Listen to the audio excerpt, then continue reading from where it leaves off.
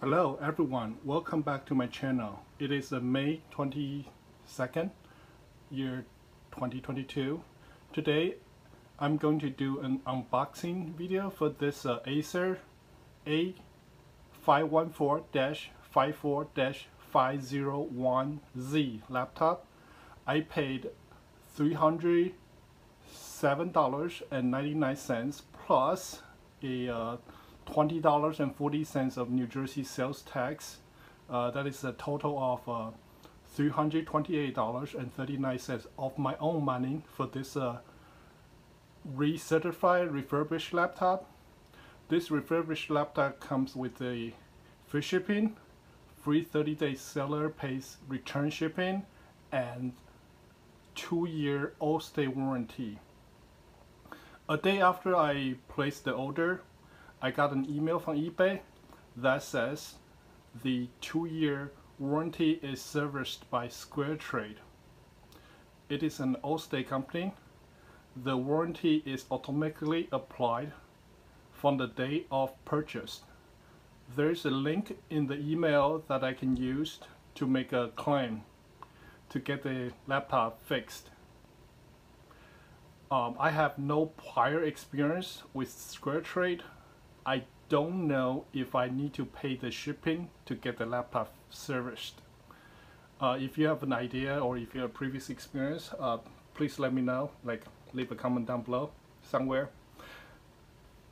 Uh, the uh, brand new uh, non-refurbished non-refurbished laptop is uh, priced at $400 at the time of recording. Uh, the brand new laptop comes with a one year of uh, Acer manufacturer warranty, not the two year SquareTrade warranty. Um, now let's open it up. Um, we can see that the shipping box is already damaged.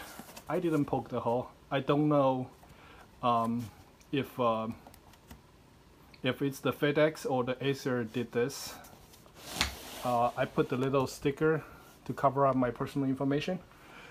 Um, the box looks okay. Wait, the box looks looks like it went through some sort of water or rain.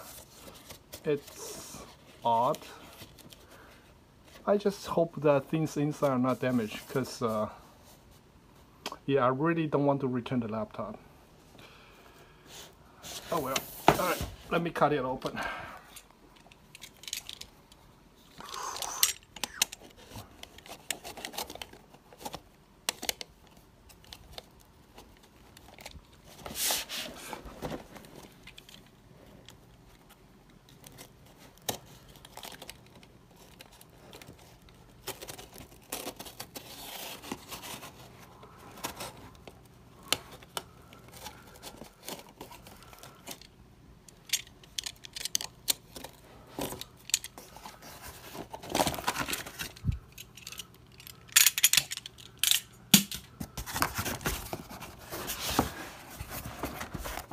Inside the box there's the oh the power core.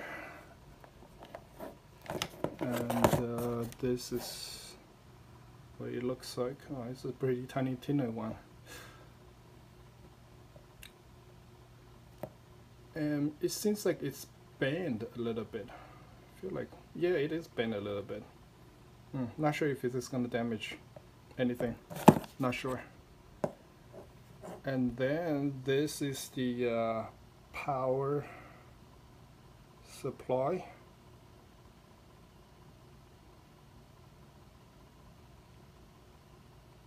Ah, it's made by a Taiwanese manufacturer. It's Delta Electronics Inc. And uh, let me get closer. Let's see. It works with uh, with a 100 volt to 240 volt. So it, it's like universal. That's how the every laptop is nowadays. Okay. Uh, wait hold on. Here's on the side there's uh, okay. It could get hot so be careful. I guess that makes sense. Some people would uh, use the laptop on the bench on the bed and then things later get hot, really hot. And then gone with oil. Alright, let me put that aside. What else is there? Okay, this is a nothing. Oh.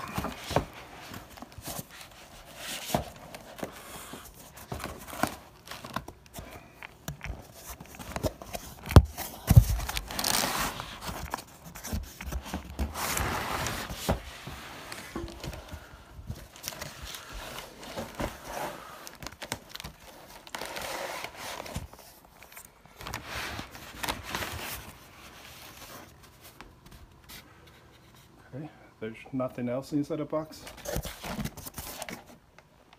Yep, nothing. Let me throw it away.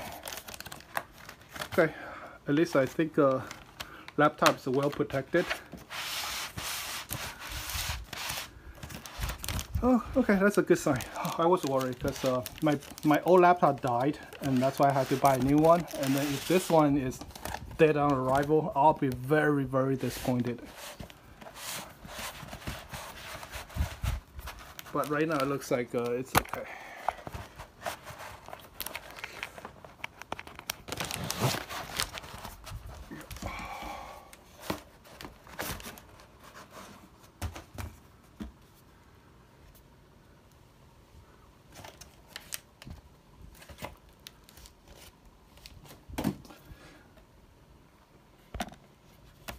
Uh, let's see what this uh, laptop could do. All right, I see the uh, from the left to the right. This is the uh, power from the power supply. I, I think I'm supposed to plug it in like so. Okay, even though it was bent a little bit, but it doesn't affect the connection. I think so far. I don't notice any problem yet. And then this one is supposed to be the uh, Ethernet port and this is the uh, HDMI port USB 3 USB 3 and this is supposed to be a USB-C port. And then let me take a look on the back. There is just the logo of the laptop and then on the other side oops. And then on the other side of the laptop, this is the uh, locking port where you can uh, lock your laptop to a, um, a lock. So while you are away from your keyboard, on your away from your desk, your laptop doesn't get stolen. But I never use it. And this is the USB 2.0 port. This is the uh, headset port. It works with the speaker, the headset, and then the microphone it's a two-in-one port I suppose and then those two are the uh, status light I think one is supposed for power the other one is probably for the hard drive and then this is the the back of the laptop alright nothing fancy then I'm going to open this one up Huh. Okay. That looks pretty good so far. Um,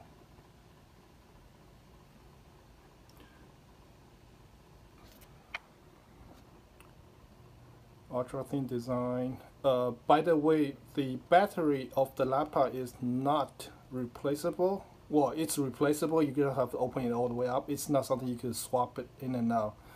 Uh, but that's how that's how every laptop is nowadays so yeah okay and uh, this is the laptop alright let me plug in the power and uh, be right back and power it back up the specs uh, for this Acer laptop are the following uh, it is a 14 inch Full HD LED IPS display. The uh, IPS display is usually better than the TN panel. Uh, the uh, Intel 11 Gen i5 1135 G7 is a 2.4 gigahertz base clock, 4 core 8 threads CPU. It has a boost clock up to uh, 4.2 gigahertz, I believe. Um, this uh, GPU comes with the Intel Iris Xe graphics. Uh, it's a built-in GPU, built-in iGPU. Uh, this uh, iGPU is better than the previous generation, the UHD 630 or UHD 730 iGPUs. Um, this GPU could run the triple title video games at the 720p resolution uh, for about, I'll say about 35 FPS. Well, if you run the Counter-Strike uh, Global Offense, Counter-Strike Go, you get much, much uh, higher FPS. But for all other recent video games, um, you probably will get like 75, I mean 35 FPS, give or take, at the 720p resolution. So it kind of could play video game, but not in the great experience. Um, the the um, iGPU also supports the HDMI 2B. Uh, it's also shown right here. This means that um, if you have a HDMI cable and then uh, connect to a big screen TV, you can watch your video at 4K, uh, 4K resolution at 60 hertz which is really great. That's a Ultra HD experience, I believe. So you don't have to watch the your video on the tiny little screen. Bigger screen is always helping a lot when uh, when it comes to entertainment. Uh, there's uh, 8 gigabyte of a DDR4 3200 RAM in this laptop. Uh, it is a 4 gigabyte uh, of RAM soldered on the motherboard itself. It is not re removable, not upgradable. It is what it is. It stick there forever. Um, there's another 4 gigabyte stick of RAM that is removable and uh, you could upgrade it if you want to. Uh, there is a uh, 256 gigabyte of PCI Express M.2 NVMe SSD uh, it is uh, removable and then you could uh, upgrade it to something bigger like say um, 2 terabyte hard drive space if you want to but uh, if you don't play video game and don't have a lot of videos uh, 256 gigabyte of storage space should be enough um, some say that there's another 2.5 inch slot for the 2.5 inch HDD or SSD drive. Uh, so if you don't want to use the if you one day you want to remove the PCI Express hard drive you can uh, put in another hard drive that's a 2.5 inch hard drive and that's supposed to work. But I don't know yet. Uh, I haven't opened up the, uh, the the back panel to see what's in there.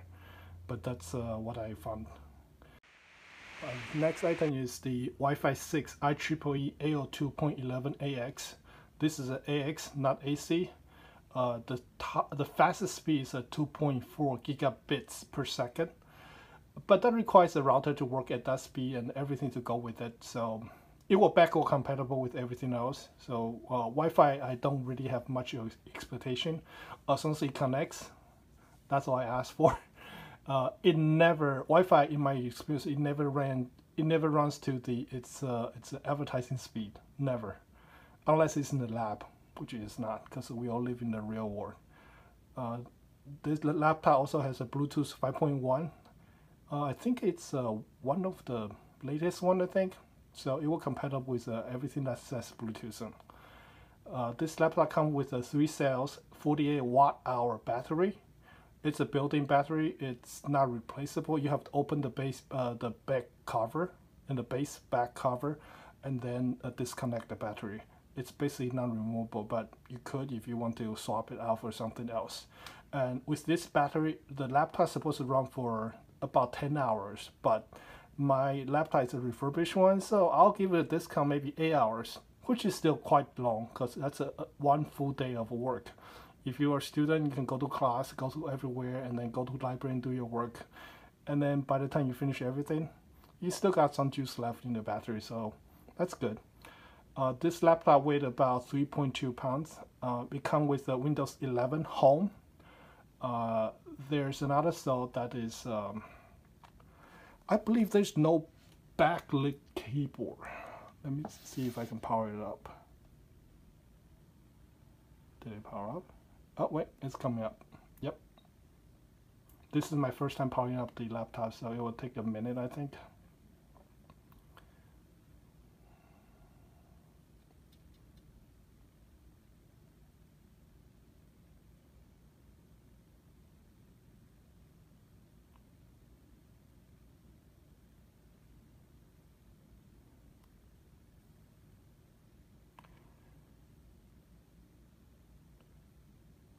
The other day I saw a guy who uh, removed the M.2 NVMe SSD and then insert a uh, adapter from M.2 to PCIe X4 and then with that adapter the guy later installed the external graphic card like the one the desktop graphic card the G, uh, standard GPU to set up your device using a screen reader turn on narrator by pressing Windows plus Control plus Enter for more accessibility features, press Windows plus U, or select the accessibility icon in the bottom corner. Alright, I don't want you. Oh, okay, you stopped. Okay, that's good. Um, so the guy actually installed a external GPU uh, to a laptop with a very Frankenstein style. Well, it kind of worked. It could uh, play video game properly at the 1080p if uh, if you have like a GTX 1660 Super or something better than that, then yeah, you will play the video game properly.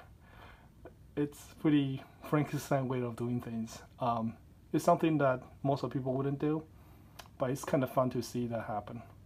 Uh, there's also no touchscreen on the on the on this laptop, so if touchscreen is something you need, it's not there. Uh, I will go with the setup screen. Uh, United States, yes. Uh, the keyboard would be US. Okay. Uh, later maybe. Connect the network.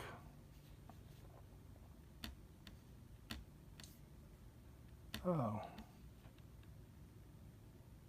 Wait, I have to connect to Wi-Fi to finish the setup.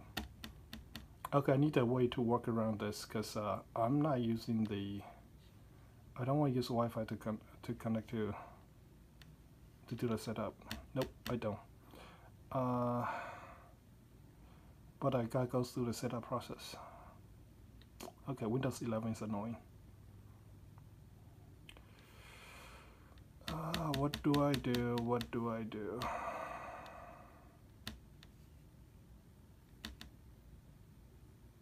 Uh, huh. Okay. To bring up this uh, command prompt, and then on the command prompt, I'm gonna type uh, OOBE slash bypass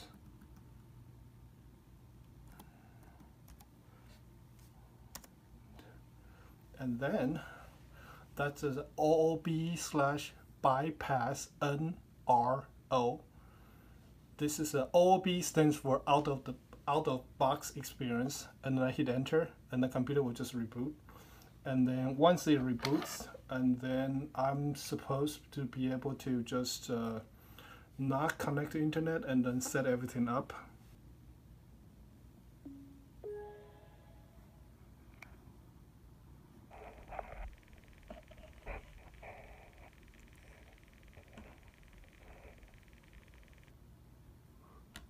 same thing I just did. Let's hope it works. Oh, there we go. Here it says, I don't have internet. Let me uh, close in on that. Right there, that says I don't have internet. There we go. That's the one way to work around the problem. Alright, I don't have internet. That's good. Uh, no, I'm gonna go with the continuous limited setup. Uh, all right, this is the license agreement. I never read it. I Accept. Uh, enter my name. Okay, I enter the name and then I enter the password and I hit next, next. Uh, I want to disable the the privacy setting. I usually disable everything so that nobody's tracking me.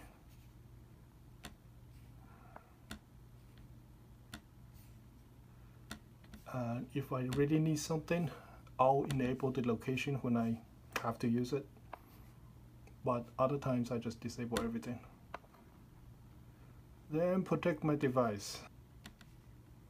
I can leave everything blank, he said. So I'm gonna leave everything blank. Uh, protect. I don't allow.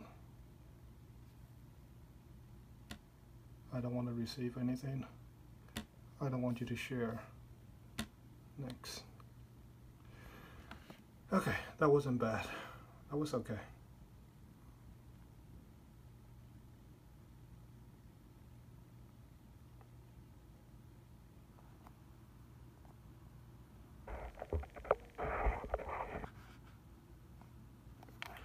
Yay! Okay, that's a success. It's not dead arrival.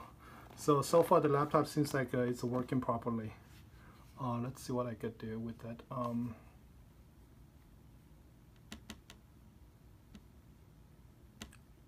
why is there blank, blank, blank? Okay, that's odd.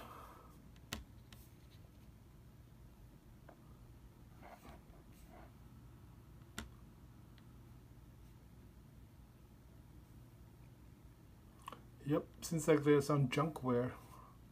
I'm gonna have to remove the Amazon app, the Dropbox. Oh, they have Firefox. Okay.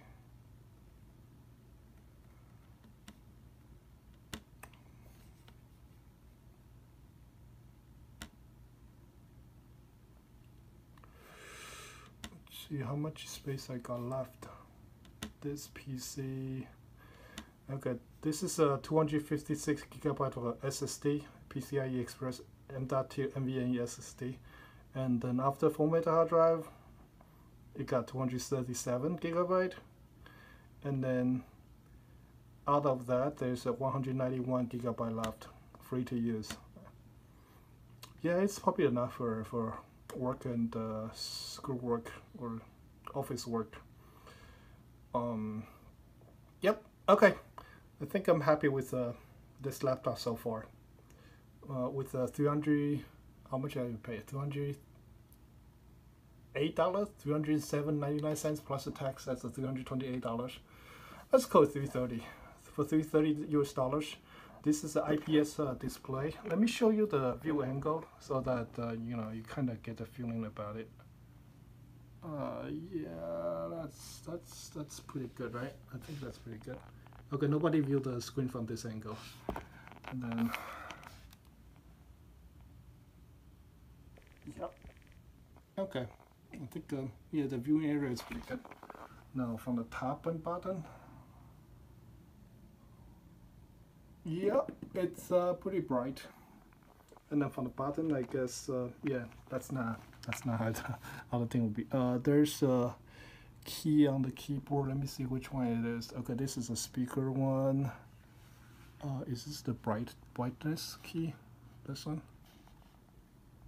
Does it make it brighter? Oh yeah, it does. Okay, this is the brightest. Yep, it's pretty bright. Okay, I'm happy with the laptop so far. It has everything I want and it's only like uh, $330 after tax. Uh, usually with uh, $330 or $350 after tax, I will only get i3 processor and uh, yeah it doesn't come that, that, it definitely doesn't come with a IPS display. And uh, the graphic card the I, the building iGPU will be much much weaker one. Um, so yeah I say that uh, as long as this laptop doesn't die on me for the next uh, say I know the warranty is two years but I usually take care of my products very carefully because it's my own money uh, I don't abuse it. Um, my, my stuff usually lasts like five years or so, or longer. Okay, uh, this is, uh, I think, uh, all I have to say about the laptop. Wait, laptop has been booting up for a while. It's, uh, it's not hot. It's just like a little bit warm, like right here. That's all I have to say about this laptop, and uh, thank you for watching, and I will see you guys next time. Goodbye.